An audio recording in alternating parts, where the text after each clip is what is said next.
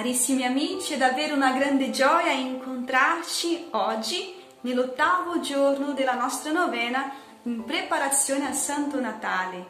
Oggi rifletteremo sui santi innocenti e vedremo appunto quanto è bella la testimonianza di questi santi, che anche se erano bambini hanno dato una bellissima testimonianza di Gesù.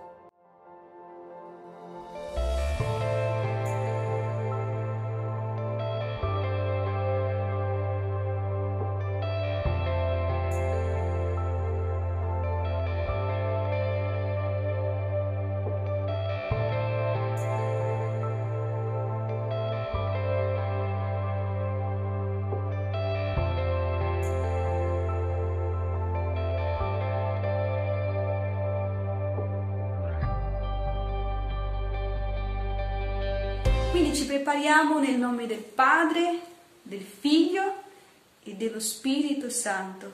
Ci mettiamo alla presenza del Signore in preghiera, chiedendo l'aiuto della Vergine Maria, che lei ci aiuti a conoscere Gesù, a conoscerlo sempre di più e ad amarlo, per testimoniare con la nostra vita, con le nostre parole, con i nostri gesti in ogni istante della nostra vita, testimoniare che Lui è il nostro Salvatore, il nostro Signore, il nostro tutto. Cantiamo a Lei chiedendo questa grazia, la grazia di amare Gesù, la grazia di vivere per Lui, la grazia davvero di far vedere al mondo che noi siamo cristiani, che siamo seguaci, di Gesù. Beato chi ti ama, pace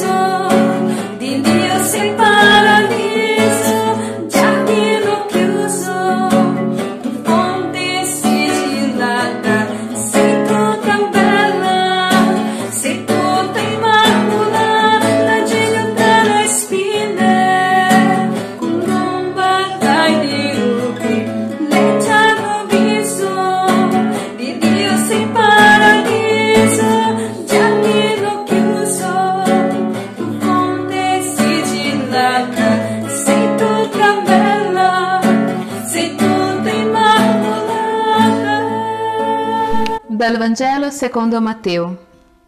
Quando Erode si accorse che i magi si erano presi gioco di lui, si infuriò e mandò a uccidere tutti i bambini che stavano a Betlemme e in tutto il suo territorio e che avevano da due anni in giù, secondo il tempo che aveva preso con esattezza dai magi.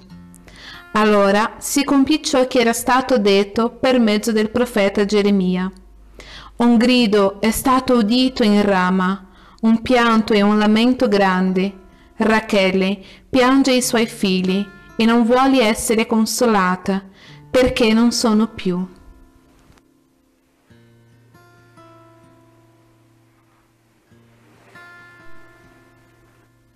Abbiamo appena ascoltato il Vangelo di Matteo, dove ci viene raccontato come la Sacra Famiglia ha dovuto scappare da Betlemme perché Erode voleva uccidere il bambino Gesù, il re promesso dai profeti.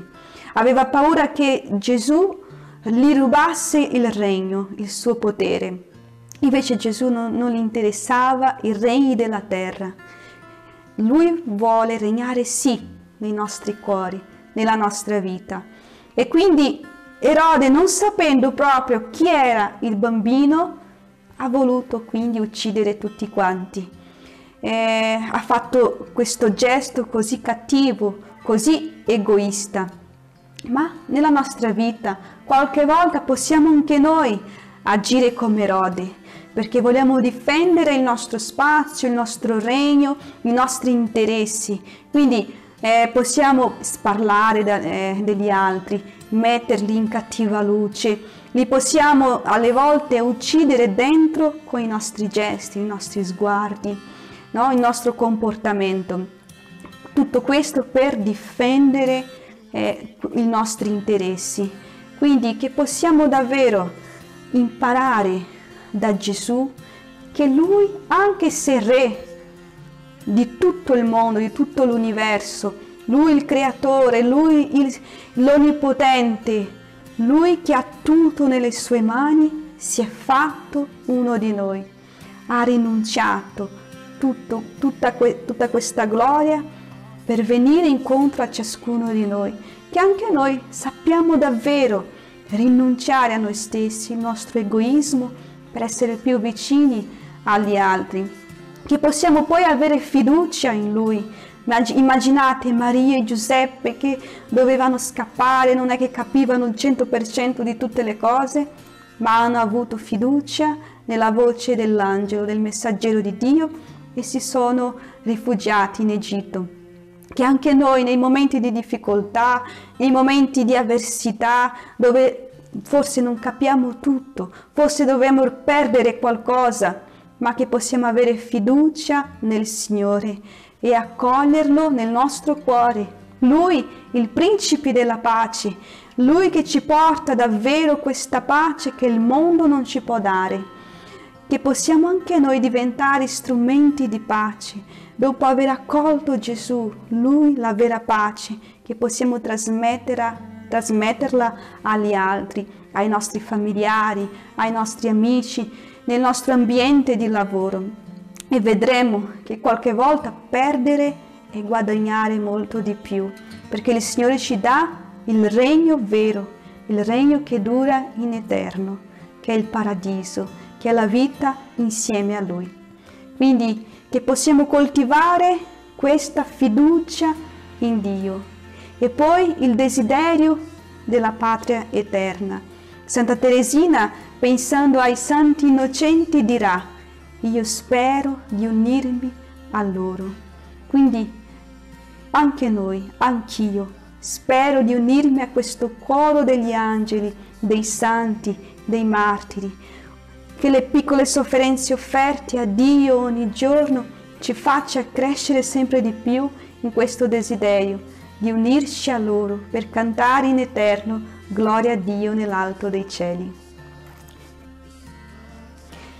Ecco adesso con molta semplicità che possiamo fare la nostra preghiera, chiedendo a Dio questo dono, il dono della fiducia in Lui.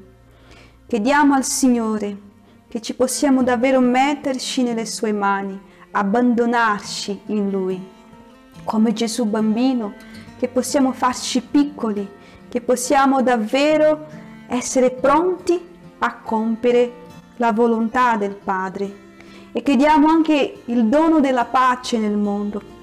Ti chiediamo, Signore Gesù, di visitare il mondo intero, di visitare le famiglie, di visitare tutte le persone che portano nel cuore il desiderio di vendetta. Ti chiediamo, Signore, per le persone che hanno il rancore nel cuore, per le persone che hanno l'odio nel cuore. Signore, che la tua grazia, la tua presenza, la tua pace possa arrivare nel mondo intero.